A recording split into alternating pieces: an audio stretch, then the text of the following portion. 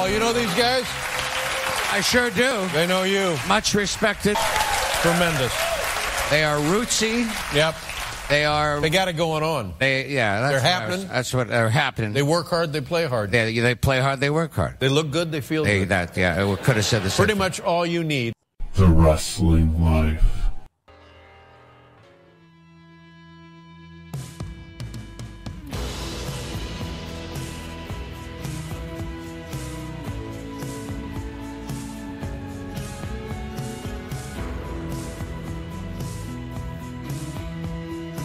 Hey everybody, it's the Wrestling Life. It's episode 269. It is June 18, 2021. I'm Ethan.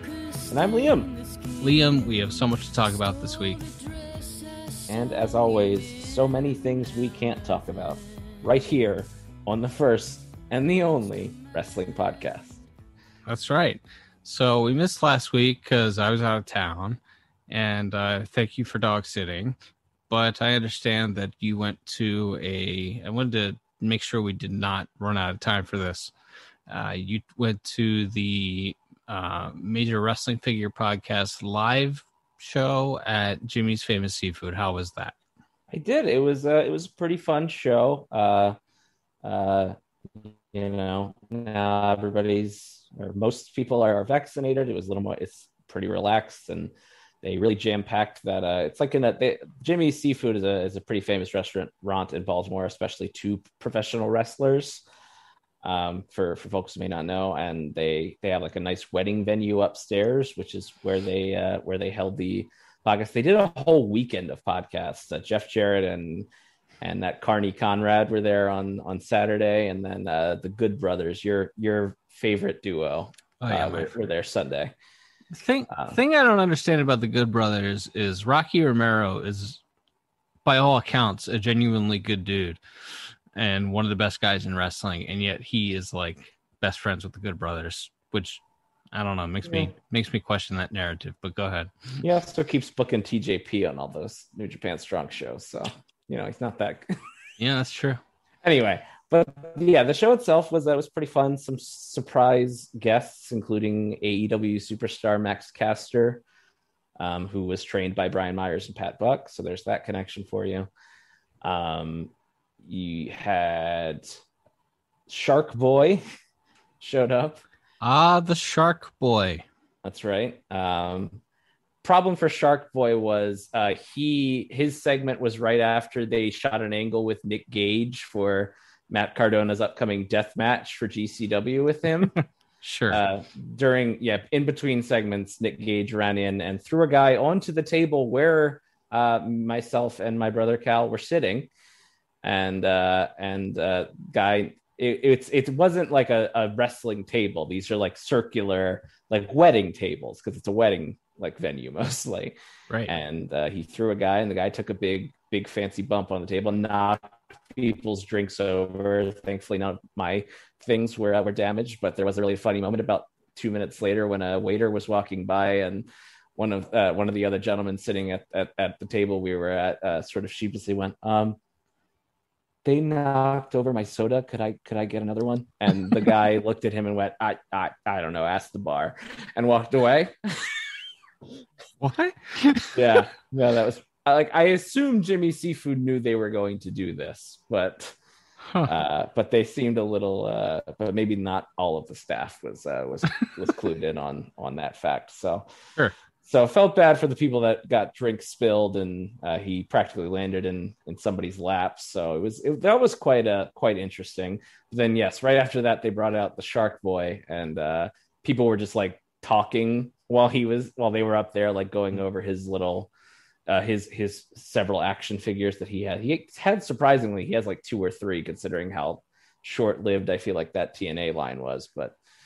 Um, but anyway, other other uh, luminaries included the man himself, Jeff Jarrett, and they announced that he's going to have a Hasbro style figure uh, that is uh, that is in the style of his unreleased one from 1995, based on the same concept art and everything. So that was kind of cool. And then they sang "With My Baby Tonight" to end the show. So that was that was fun. Um, they also had Maven there because that's like he's like he's like one of their crew He's like he's he's been at like three of their live shows and and they've like uh they're like they're like helping they like helped him get in touch with like the PWT guy and and all this stuff. So it's uh I don't know why, but it's like they have this yeah, they have this like weird collection of like guys who show up at a lot of their shows. And uh yeah, but overall it was a fun time. And uh yeah, it was a good time. But yes, definitely the the the most memorable part was definitely having having a guy take a bump at the table I, w- I was sitting on and nearly uh, landing on my cell phone. That was that was something. Yeah, it feels like maybe uh, they should have smartened up the staff if they're going to do that. Yeah, and like I said, I assume like the owner and maybe security knew, Right. but I don't think that I don't know that like yeah the wait staff or the or the rest of the the folks knew about it. So yeah, that was uh that was that was sure something. but yeah, I had a I had a, a pretty darn good time, and it's it's fun, and those guys they really hustle. Like they're they're all over the place. And uh, whether you like them as personalities or not i think it's it's fun. And wrestling in and of itself is a different flavor of nerds. So crossing that over with dorks like me who like to collect action figures and stuff it's like yeah that's fun. That's a fun time for me. So yeah that's it's a good meeting of a, a couple of my my various nerdy interests. Good times. Good times. And, uh, and thank you for watching the dog so that I could go to the Minneapolis St. Paul airport and see Bob Saget. wow talking about burying the lead here Yeah, I'm not trying to be a one upper. That's really not what I do. But if there's anything that could top the story of going to the live wrestling podcast here on this wrestling podcast, it would be seeing Full House's Bob Saget in the Minneapolis St. Paul airport wearing sunglasses indoors with his age inappropriate wife. Tell you I- what, you follow with social media, they do seem to love each other very much. well you would hope so since they're married and all Yes, that's fair. Well, we have wrestling to talk about now. Uh, WWE has a pay per view this weekend. It's Hell in a Cell. I'm most forward, lo- most looking forward to uh, the Mick Foley uh, Broken Skull sessions that it drops the same day on Peacock slash the WWE Network. But I suppose Hell in a Cell. There's five matches announced. We can go through them here real quick. I'm not going to save the main event for last because I want to save the Alexa Bliss match for last uh, because that can kind of well I'm sure we'll go down several rabbit trails off of that one but real quick here. Uh, they have the top four their top four titles on the line on the show. Uh, Bobby Lashley versus Drew McIntyre in a Hell in a Cell match for the WWE title. Rhea Ripley versus Charlotte Flair for the Raw Women's title. Bianca Belair versus Bayley for the SmackDown Women's title, and Roman Reigns defending against Rey Mysterio inside Hell in a Cell for the Universal title. What jumps out at you regarding the build to any of these four matches? Uh, I think the fun the fun part is that the Charlotte and Rhea feud is mostly built around Nikki Cross. Uh, that's fun. Yeah, that's weird. Um, yeah, I don't I don't know why. Like they, it just is. And like, and the the storyline is that uh, Nikki Cross is this unbelievable underdog because she keeps lasting somewhere between like one and three minutes without getting pinned. Yeah, that's really dumb. And they made her cut a promo about how she's not the prettiest or the smartest. Yes, or- the most experienced, despite having like twice as much wrestling experience as almost anyone else, Yeah. including Charlotte and Rhea. Uh, on, Sure. on, on the at least in the women's division. Yeah. But uh, yeah, that's uh, yeah, that's that's bad. That's bad stuff. But I mean, you know, that's what we're doing. Um, yeah, I think that's that's stuck out to me as I don't think anything they've done has been terrible in a vacuum, but it's one of those things where it's like, well, all this stuff they're doing at the end of it, I wasn't really like, man, I really want to see Rhea Ripley wrestle Charlotte. I was just like, they they tried with a pull apart, I thought. mm-hmm. and I thought everyone in that angle, uh, they did a pull apart with Charlotte and Rhea. I thought Charlotte and Rhea were good in that angle. Uh, Yeah. it, it it lacked the super intensity that you get with a live crowd doing one of those things, but I thought that was good. Yeah, I would agree with that. And it felt like a go home angle. Yeah. And I think we talked about that last month. We talked about it a lot recently. A lot of times, and again, it's a different era, it's a different priorities are different. Um, but it does feel like sometimes we there's where we just do it's like well it's the last week for the show you know this person wins a match this person cuts a promo and it's all really by the numbers so at least they like they did something slightly you know they picked one of their three or four tricks that they do for a go home show for this angle so They shot an actual angle, which they don't Right. do very often. Great yeah i you know i try not to look a gift horse in the mouth and stuff like that so yeah. Uh, the other one women's title feud, Bianca and Bayley. I like everyone involved here. I just don't think it's been particularly good um, or effective at making me want to see the two of them wrestle. yeah in retrospect maybe it's bad that there's only uh, two women in the women's division on uh on smackdown Yeah, it's a strange decision.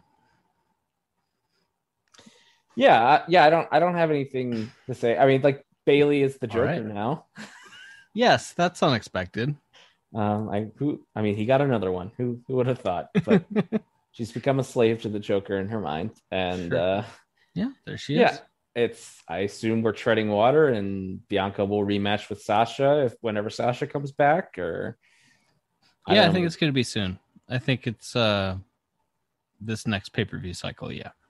So yeah, that and that'll that'll probably be really good. So you just, it's just one of those you know patented WWE months where we're just we're just we're just gritting gritting our teeth and we're doing a match that we've already done a couple of times because We're bad Mm. at planning. we forgot that they there needed to be an opponent between uh, April and August. Yeah. Roman and Rey Mysterio build for that. Okay. Like they hit all the right beats.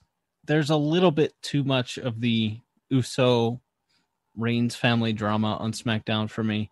Like Mhm. it is the best thing they got going, so I understand, but they absolutely beat it into the ground. it's like by the time SmackDown's over, like I never want to see Roman Reigns again until the next week. so Mhm. I don't know if that's good or bad. Uh, and Rey Mysterio obviously feels very much like a placeholder, but uh, I guess I I could probably count on one hand the number of bad Rey Mysterio matches I've ever seen. So I'm sure this will be good. Yeah, I think it'll be a really good match. Um, yeah, this is going to be a weird comparison, and I don't, I don't necessarily mean it entirely.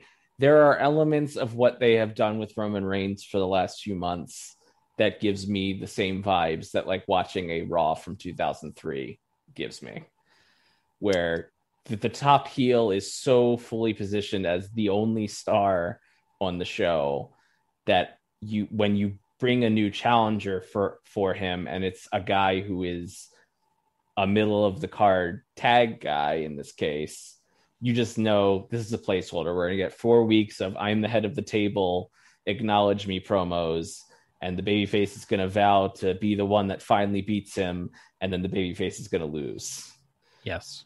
Um, and I like to be clear, I think Roman Reigns is better in e- every way than I think when I than 2003 Triple H.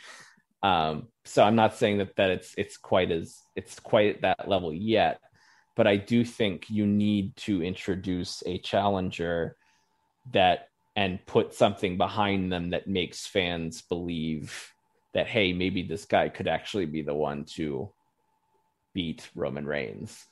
Um, and So, I think so if he gets if he gets sorry, I mean to cut you off, but if he gets Cena at SummerSlam and The Rock at Mania, which I think they're hoping for, um, I, he can't lose either of those matches, so he's pretty much going to be champion. You know what, eighteen months plus going into that that WrestleMania or coming out of that WrestleMania. It's like, well, then he's got to hold it longer. But then the guy who beats him should be the guy. And I hope I hope it's not Brock Lesnar. Like we can we can make we can make a guy right eventually at the end of all this. Dominic Mysterio can be the guy.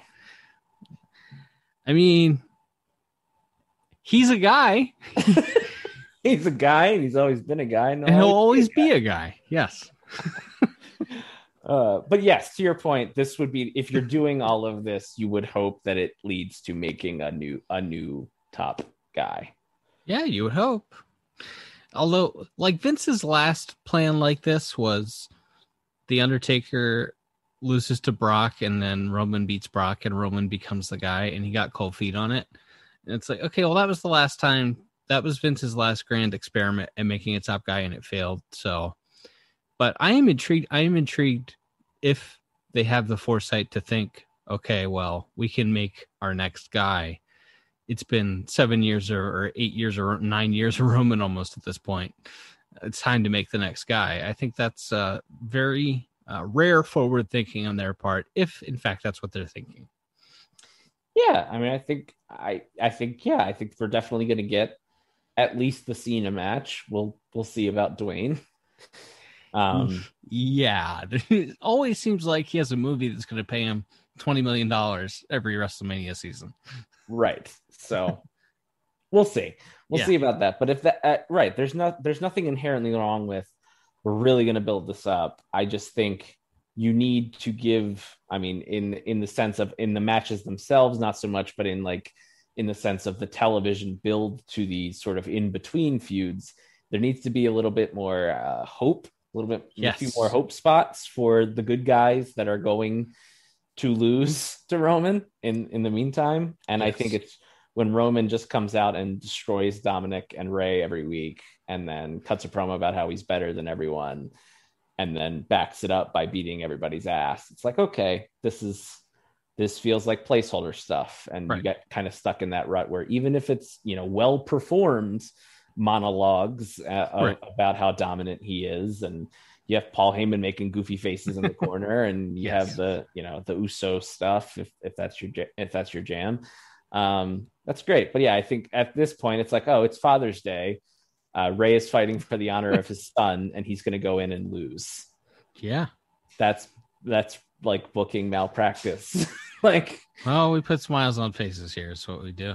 that's right. That's right. So yeah, I don't know. That's yeah, that that that's just a weird thing to book if the payoff isn't. It's kind of like uh, when when Jake Roberts humped Cody's wife, and we didn't really ever get payoff to that.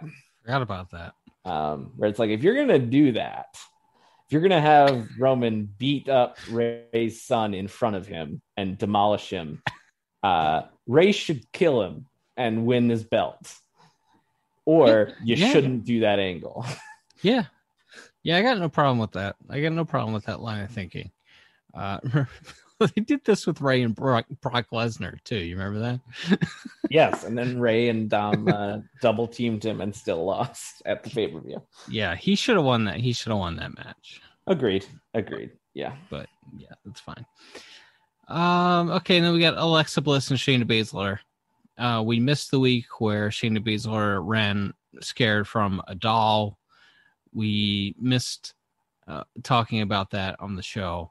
Um, that's like an all-time bad segment. Yeah, I think they're losing the ability to ever mock like the Dungeon of Doom again. like like no one involved with this stuff get, gets to ever make fun of like bad WCW again because they're producing this stuff. Now, I, I will say as as if we're looking glass half full, which we like to try to do sometimes on this show, uh there is so much WWE television that is produced that is just like toothless and boring. Yes. And this is very memorably bad. Oh yeah. And if those are my two choices, given that I have made the decision that I'm not going to just stop watching, uh, I would prefer memorable and bad and funny. Um, especially when they start thinking they're like, oh, look, at, we're gonna get like 18 different shots of her stamping on the on the doll Yes. and then we're gonna do like a shot in the mirror when we start think when when when Kevin Dunn starts thinking he's like a real director. yes. I love that stuff because it's so hokey and lame, but they clearly think it's like it's it's the we make movies, pal. Like it's that's that's the stuff. Like they really think this is good. They must. They keep putting it on TV. That's right. And so yeah, now they're now the the the shooter is going to wrestle the the tiny uh, demon goth girl Child child. Yes. who has a playground set. Yes. Yep. Yes. Yep. Somebody's. By the way, while we're on this subject, but well, I'll, I'll save that. But um, put it, let's put a pin in uh, WWE being perverts and come back to it. uh, Alexa wrestled on Raw this week, and they trumpeted this as like her first match on Raw in four months or something.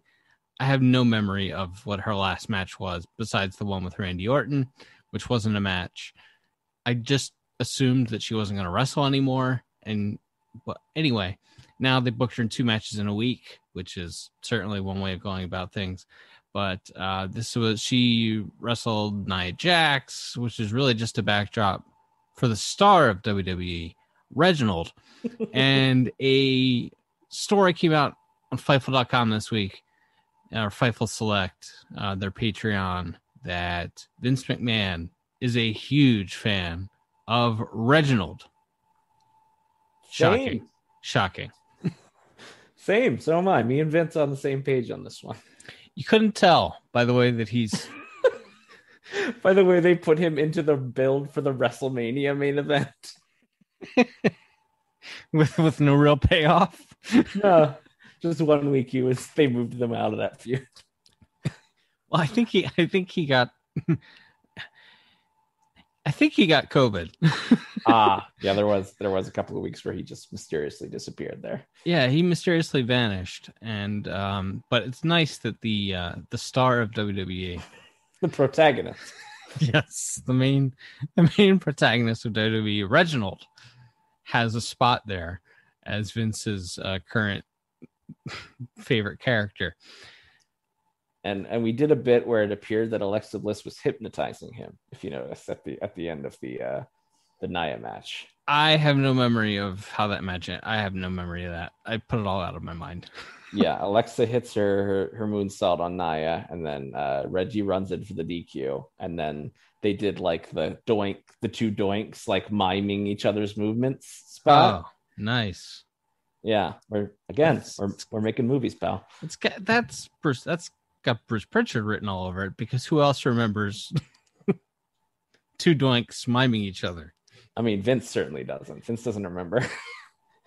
Hence, by why we get you know three weeks in a row where Elias wrestles Jaxson Ryker and walks out and gets counted out. Like the guy does not remember what was on television the week before. Like it almost seems like it's like a bet between like maybe Bruce and some of the writers is like how many weeks in a row can we get the exact same segments on TV without Vince noticing that we're doing the exact same segment. would not be surprising at all. Yeah, of all the people that company has under under contract, we're doing something with Jaxson Ryker. Yeah, but we're doing something with him in the way that like we did something with Damien Sandow, or like this guy's gonna be forgotten, pun very much intended, in like another three weeks, I assume. I mean, I it, it can't get here fast enough. He he has the charisma of a potato. I I don't know what else to say about Jaxson Ryker. Uh, did we talk? We didn't talk about Drew and Lashley. Drew and Lashley. Oh yeah, They've been wrestling since the Carter administration, I believe. I believe so. Yeah, uh, yeah. It's uh, they did a six man with a DQ finish, and and a, and they brawled some. Like it was. Again, it's like in a vacuum, it's fine. It's paint by numbers. WWE build for a show did not feel like this horrible blood feud where they need to be locked inside a cage. Drew, Drew pinned Lashley with I a think- I claim. thought- I thought They did- restarted the match like 56 That's right. times. That's right. That's right. Okay, I think that's but Drew did eventually Claymore and pin Lashley. Okay. All right. All right. My mistake. But No, yeah. no problem. It's easy. Like I didn't remember Reginald being hypnotized. I mean, and of the two, which is more forgettable? right. The star of WWE or the WWE title match. exactly. yeah, I don't know. I think it's it's it's all fine. Like, and they're probably going to have a pretty decent, you know, Hoss fight on on Sunday. Although I do wonder if sometimes the cage is more of a hindrance to that style of WWE wrestling. You know, they can't unless they do a big stunt, like they're gonna like break one of the walls in the cell or something. Right. They don't do Um, blood anymore, so you ke- so you're not gonna have that crutch. Right. And well, and they can't do a, a 60 minute monologue because the other cell match is going to have that. so, Yeah. so yeah, they, I guess they just got to throw each other into the cage a bunch. Maybe, maybe they'll get to use like a lot of weapons and stuff. That's the thing that these cell matches have just become like TLC matches Mm-hmm. inside I a structure, and it works when the women do it. So I'm not gonna complain too much about it, but True. also it's completely completely different than what cell matches have been for the first you know or what they were for the first 20 years they existed Yeah, I guess it all goes back to when they made it its own pay per view and did like four on that first show. Like, Yeah, like, we don't do Hell in a Cell. It's the same thing with the War Games or or any of that stuff, right? It's we don't do it because we're telling a story that we want to lead to it. We do it because it's October, or in this case, this year it's June, and Yeah. that's Hell in a Cell month. So either maybe I mean at least the Drew and Lashley feud, you'd be like, well, they've been feuding for a long time. It's fine if they have a cage match. It's like Roman and Rey. It's like, well, they've been feuding for about three weeks, so but it's the Hell in a Cell show, so they're gonna be their first match is gonna be in a Hell in a Cell. right right um back to the uh pervert talk. Uh there were three separate women who were barefoot in the ring on raw this week. They made alexa bliss i'm sorry not alexa. They made charlotte flair uh mandy rose and dana brooke uh all had to do angles barefoot. What I is mean- happening over there? I hate to defend the perverts. Here's my new segment: defending the perverts. Isn't that the one name of one of russo's podcasts uh, but Charlotte could have worn different shoes because she, I assume, she knew she was going to do a pull apart brawl angle. like she chose to wear high heels and then took them off to do the brawl. That's what always happens, though. You would think, except for like Bayley and Sasha would wear tennis shoes sometimes. Like you would think. Yeah. I don't know. I just like sometimes it seems more deliberate than like the Charlotte one. But to your point, there were three bare there were three different barefoot women on the on the show and uh and plus, you know, the regular the regular fetish. Right. None of this happened before Jarrett showed up. So he is still employed even though he's doing this Yeah. podcast and everything. Okay. Yeah, which is funny considering you know all the ind- independent contractor stuff, and can't have third party deals, and you Pritchard and Jarrett and have podcasts. Yeah. And Jarrett now has a toy deal with someone that isn't Mattel. So that's Yeah. interesting. Yeah, Samoa Joe's back with NXT. Oh yeah. I guess speculation he can't get cleared as a wrestler. Not sure what exactly what to believe on that, but I would think that he would have no shortage of suitors who would be willing to pay him more to wrestle than WWE was willing to pay him to be an authority figure on NXT television. So I'm assuming there's something to the he can't get cleared thing. Yeah, that would that would seem to make sense. Um, and again, we talked about at the time. Joe's a guy I would want I would want to keep, so it's good for it's certainly good for for WWE or NXT in this case. But yeah, having him be a guy who stands next to William Regal, uh, and it's also one of those things where inevitably when Joe gets involved and cuts a promo, you're gonna want to see Joe wrestle whoever he's cutting the promo on because he's Yep. very good Yep. and he tends to pull focus because he's Samoa Joe. So that so, so like I hate to say that like his talent is a detriment, but sometimes like I understand why they get really bland announcers and like I see at least I see the thought process Sure. of like hiring a Todd Grisham or having John Laurinaitis be the GM because you're Right. like, well, no one will be outshone in the charisma department or will be more or, will be less entertaining than this guy. Right. And and you can't pay and if, if you can't pay it off like that was the deal with you know stephanie being an authority figure all the time it's like Mhm. well she doesn't wrestle so she doesn't get, she, you can't get your heat back right.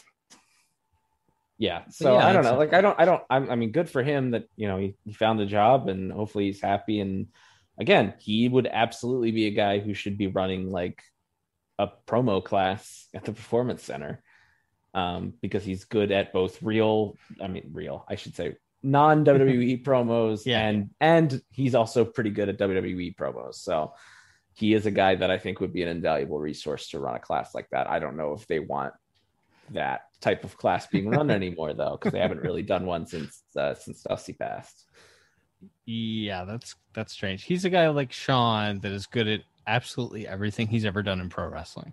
Mm-hmm. One hundred percent. Yep. Even when he had the mohawk and the penis on his face. What? There was a time in TNA everybody where he had a fake tattoo on his face that looked phallic. And he carried was- a sword.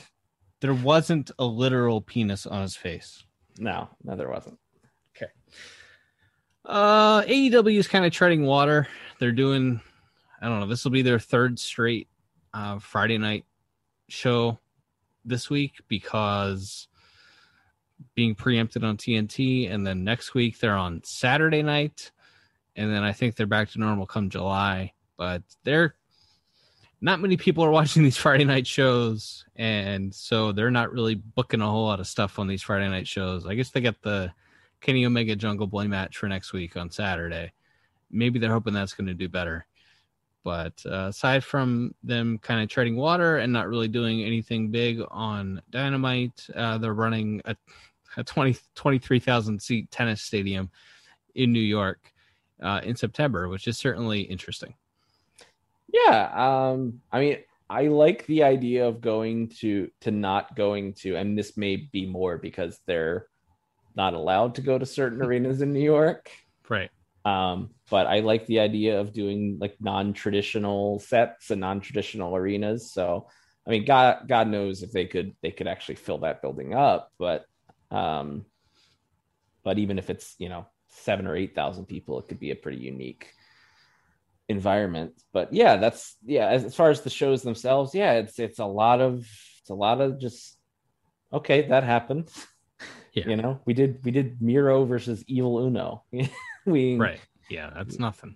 yeah and, and, like there's nothing particularly wrong with a lot of it but uh yeah i i just thought about last year when they had they had like one they, i think they only had one or two weeks where they were preempted and on Yeah. one of those shows they did the brodie lee title change Yeah. uh, which is like one of the best segments they've ever done Right. um and it was like wow they really chose not to phone it in and Right. it's uh, almost a year later now and we apparently have reached the point in the television production cycle where they're like ain't nobody watching this show we're gonna do the bare minimum which still means about you know 65 segments but you know Yes. Yeah. but they're just not very exciting and most of the Yeah. matches are are not super exciting and we're kind of treading water as far as like new new programs and stuff like that Yeah, I do think it becomes a self fulfilling prophecy when you do that, though. I would like to Mhm. see people try when you're when you're outside your time slot or whatever. But also, I I understand the thought process. Uh, but yeah, I, hey, C- Cody and QT are gonna wrestle again. We got that to look forward to. in a strap match maybe the worst A terrible worst stipulation. Yes, it's terrible. Also, like they just did a bull rope match, which is essentially the same thing. yes, Uh, so, but they're doing another one. yeah, and Brock, what, what is what is uh, Arn's Brock Anderson. large adult son's name? Brock Anderson. Yes, Brock Anderson is going to wrestle. Uh, uh, is going to ta- team with Cody, and then is uh, is, is going to be an AEW wrestler now. I- uh, I hope he sucks. it would be funny. It would be hilarious. it would be really funny. Um, I mean, just, I mean, again, it's that like proud tradition, right? Of like of your Erik Watts and your Scott Putskis and your Shane David- McMahon's. yes, the the ultimate fail son, Shane McMahon. Yes, and, and uh-huh. David David Flairs of just Yeah. you know, pretty darn talented, great uh, father, just just giving none of that charisma or talent to his uh, to his offspring. Yeah. You know, they put Torrie Wilson with David, and it was like, Mm-hmm. you know what? She can cover up for a lot of what he doesn't have. I was not against that pairing. Poor David, they put him on TV before he getting trained. Yeah. like and, it- and they did like some crappy stuff. Like they put him in the ring with Benoit and let Benoit like concuss him and stuff. Like, yeah, Hogan beat the crap out of him with a with a weightlifter belt. Mm-hmm. yeah, Yeah. like they were, there was some really kind of crappy stuff that whether or not that, that was management's, you know, encouraging people to do that, or if that was the wrestlers taking liberties because they're on live TV and nobody can stop them. I don't know. But Right. it was still a crappy situation and, you know, a, a no win situation for a guy that, that young and that inexperienced. Yeah. Here we are, uh, 22, 23 years later. Torrie Wilson used to be a 10. She's now an 11. I don't understand how that happens. Don't understand. It's 20, it's two decades of destruction. it's, it's pretty tremendous. The Uh, immortal Torrie Wilson. You know, when Hogan beat David Flair with that weight belt, Flair put in his book that he was like legitimately held a grudge against Hogan for that, and now Hogan and Flair are best buddies. Mm-hmm. And it's like, I wonder what ever happened with that. Well, don't I feel like Ric and David don't talk very much these days. That might be. Like I don't I don't know that they're estranged, but it doesn't Right. like I like, like the last thing I remember seeing David Flair in was the 30 for 30 and he w- did not have positive things to say about his father. I, he's he's he's cool with the siblings though, and I would think Mhm. that I would think that they're all cool. Like you know, so. they might not. Yeah, they might, but that would that is one possible explanation. Good. I'm glad I've I'm glad I've wanted to uh, do a 30 minute episode and I spent five minutes talking about David Flair and Torrie Wilson. It's great. Ugh. Uh, New Japan's rescheduled a bunch of stuff. They or scheduled uh, rescheduled their Tokyo Dome show for the end of July, and then canceled the other stadium show, but added two stadium shows in September because let's just let's just keep running shows. the summer struggle that is is that uh an aptly titled yes aptly titled event. Uh, they're going to do Shingo and uh, and Ibushi. I think that'll be pretty good. Yeah, that sounds like it'll be all right. Uh, I I guess I think we missed talking about that on the air, but were you surprised to see them belt up Shingo? Yeah. Yeah. I would have thought, well, yes. I would have said I would have saved that for like, you know, Tokyo Dome, 60,000 people or 40,000 Mhm. people or however many they put in there. Just because I think he's that talented and it should be a big deal when he wins the championship for the first time. And they chose to do it, you know, in front of 5,000 people or whatever. And that's fine. Like it, you know, the circumstances are the circumstances. And I think they're very clumsily trying to make their way through them, but they are just trying to get by the way everybody else is. And so they just decided to pull the trigger because he's one of the five best guys in the entire world and his talent could not be denied. I mean, you think about they brought him in as like a junior guy, basically to be a stopgap because Hiromu was hurt. And now he's their world heavyweight champion. Like, He's he's he holds the most prestigious championship in wrestling. Yeah. theory. Yeah. what a like what a marvel. like what a tremendously talented man. Yeah. Um yeah, and that, like it's yeah, I was I was happy to see it. Like I I because again, like like for every every reason we've just mentioned. Um, but yeah, I, I thought I thought ultimately he needs to beat Ospreay for it because that was sort of the story they had begun to tell. Yeah. Or- those, I two mean- as career rivals is a good story. hmm So I was a little surprised. I thought he would lose it, or I thought usually maybe he would get like a Naito type first reign where they turn him, they try to turn him heel, and and he wins it as a heel, and then he gets the big baby face win a year from now or whatever. Sure. But they, they went a different way, and I again, I'm not I'm not complaining at all, and I think having him be the top guy in Lij and letting Naito do tags probably the best for everyone for a while. Wonder how Naito's taken that. Naito has a lot of 2005 SummerSlam Shawn Michaels in him. If you just watch his performances in matches that he's going to lose, Mhm. uh, he's he's got a lot of that in him. I wonder how. I wonder. It can't feel good. Yeah, I mean, and and again, I like his body betrayed him, right? It's not like he's Right. 40 years old or people stopped wanting to see him. Like it's yeah, I'm sure He is, he is like 38, I think. okay. He's a So he's bit- getting there. I mean, per per New Japan main eventer status. Uh, well, yeah, that's status. status. These well, days. yeah, that's true. Ibushi's 40, and Tanahashi's 44. Yeah. Yeah, but uh, but yeah, but yeah, his, his body's starting to break down on him. People still love him. People still, I think, crowds will still respond to him like he's a top guy. And I'm sure he feels like, yeah, there's there might be a little bit of 05 Shawn, maybe mixed without the uh, extracurricular issues. Uh, maybe a little bit of like that 98. I'm not ready to go. I'm not ready to do the favors for Steve, Right. Shawn, and him too. Right. Yeah. Yeah, it's interesting. I don't I don't know I don't know that any of the, I don't know Naito obviously, but I've drawn some conclusions just based on watching most of his matches for the last 5 years. yeah yeah it's funny the things you pick up and you're like oh you can you can just tell there's a different vibe Yep. when- he's not when- he's not wearing wrist tape in this match tonight.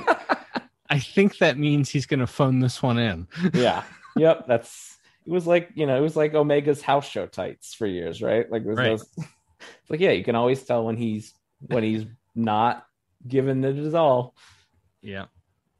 All right. Well, we've covered everything and then some. Is there anything else that you'd like to talk about? I just want to reiterate that earlier today, Ethan, uh, or yesterday, Ethan messaged me and said, "Can we do like a quick thirty-minute show?"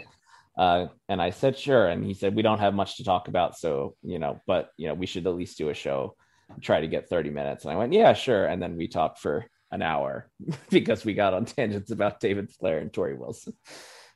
You know, I said before when we started recording before the show, when we spent 20 minutes talking about baseball before the show started, said, you know, it's never time wasted. It's just, it's always time well spent. Uh, when we when we discuss baseball and whatever else with each other, I feel the same way anytime Torrie Wilson's discussed. It's always time well spent. I will um, never tire. Of, I will no. of that. I will never tire of talking about which are trying to theorize which specific WWE producer is the foot perv. It's Jarrett, but but you know Pritchard. I mean, there's Pritchard. There's some weird stuff once Pritchard got there too, so it can't all be Jarrett. You know, one of them's the foot guy, one of them's the the Alexa stuff. Like oh gosh. Abyss is. I bet. I bet Abyss has got some weird ideas. Oh yeah, for sure. Like, there's For some. sure. There's some real weirdos working there. Yeah, un- unlike us. All right, so until next time, everybody. I'm Ethan. and I'm Liam. We'll be back soon with more stories from the wrestling life. Farewell.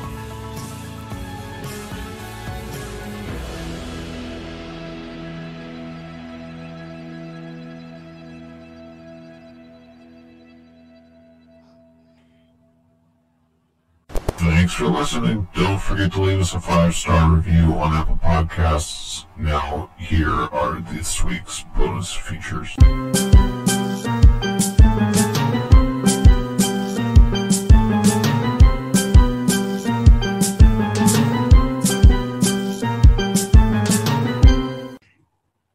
Oh yeah, so tell me about this uh, uh defector article about uh, putting stuff on the baseball.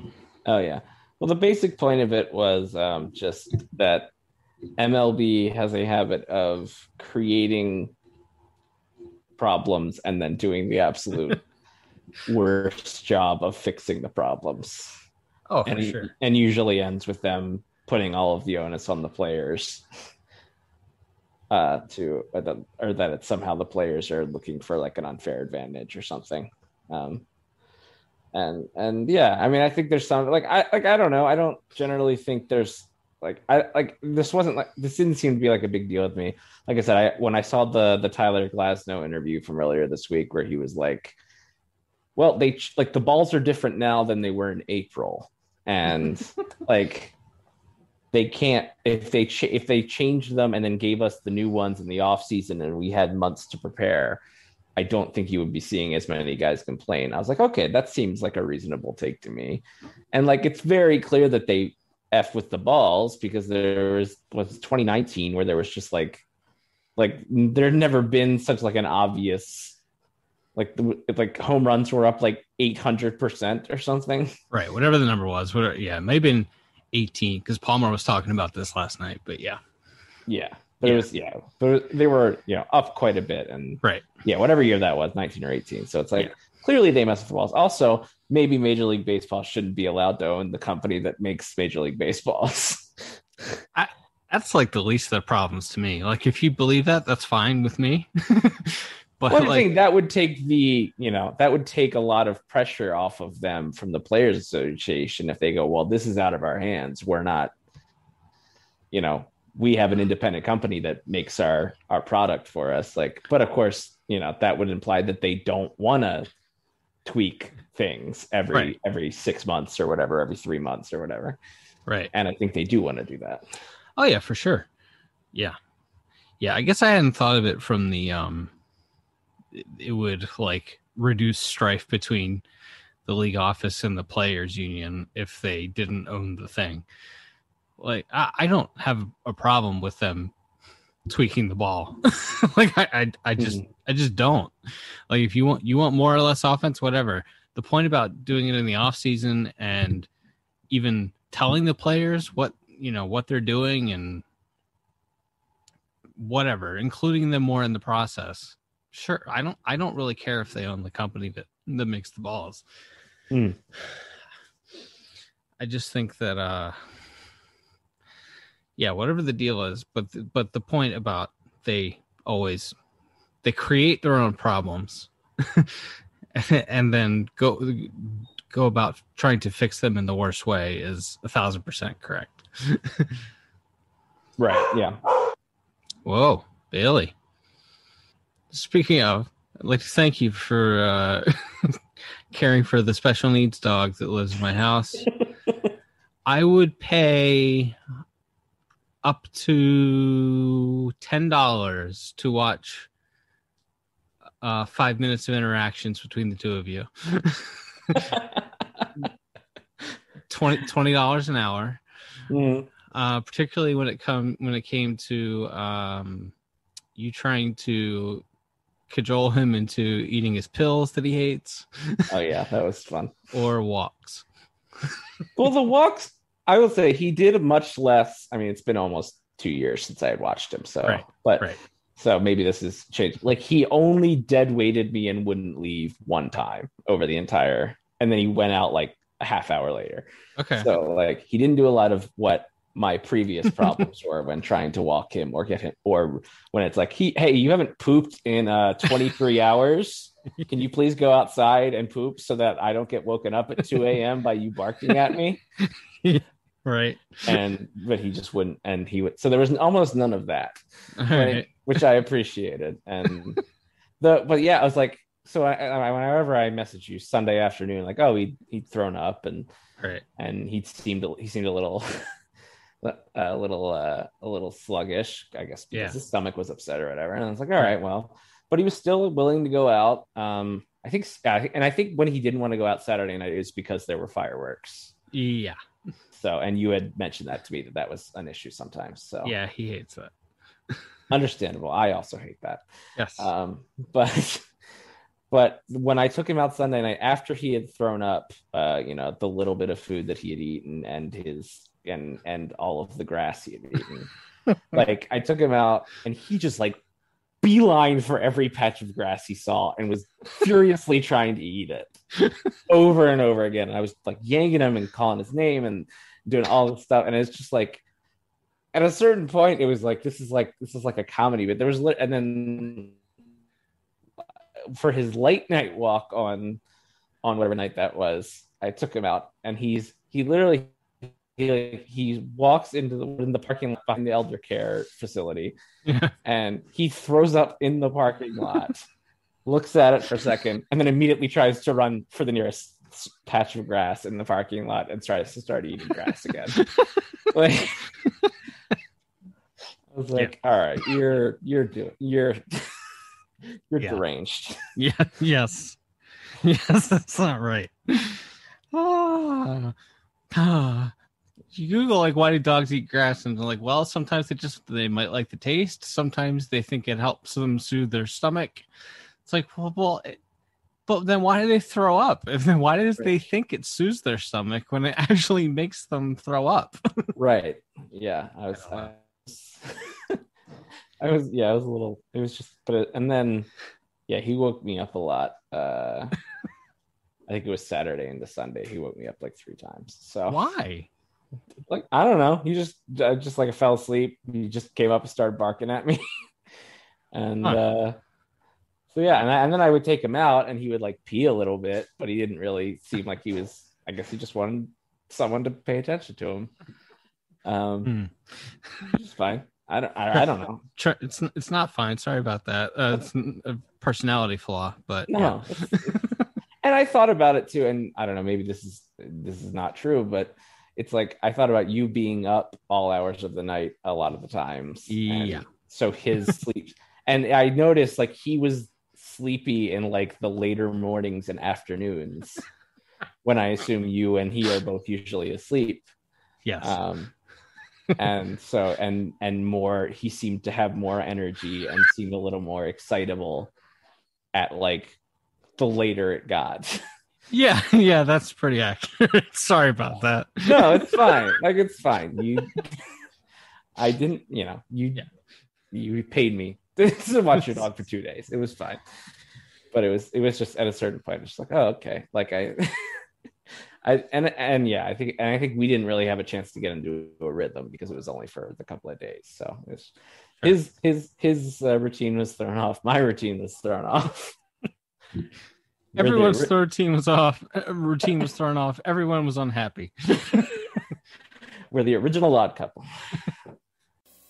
I try to keep on keeping on.